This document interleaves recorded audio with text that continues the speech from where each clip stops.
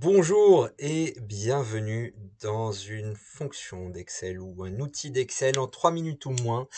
Et aujourd'hui, on s'intéresse à la fonction quotient. Alors, la fonction quotient, qu'est-ce qu'elle fait?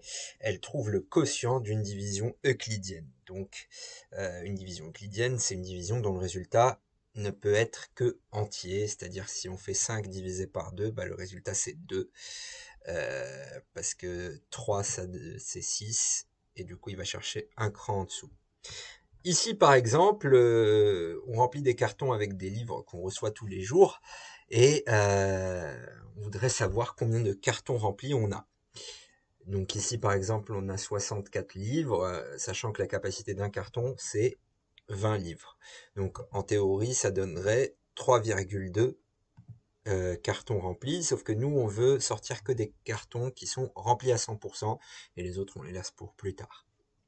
Et dans ce cas-là, on va faire une division euclidienne. Et donc, le numérateur, bah, ça va être le nombre de livres. Et le dénominateur, c'est-à-dire ce par quoi on veut diviser, ça va être la capacité d'un carton qu'on va figer parce que c'est la même capacité de carton quel que soit le jour.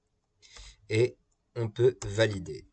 Donc là, il nous dit qu'on a trois cartons remplis euh, lundi et puis il nous dira 4 pour mardi, 2 euh, pour mercredi, et puis pour jeudi, on tombe juste.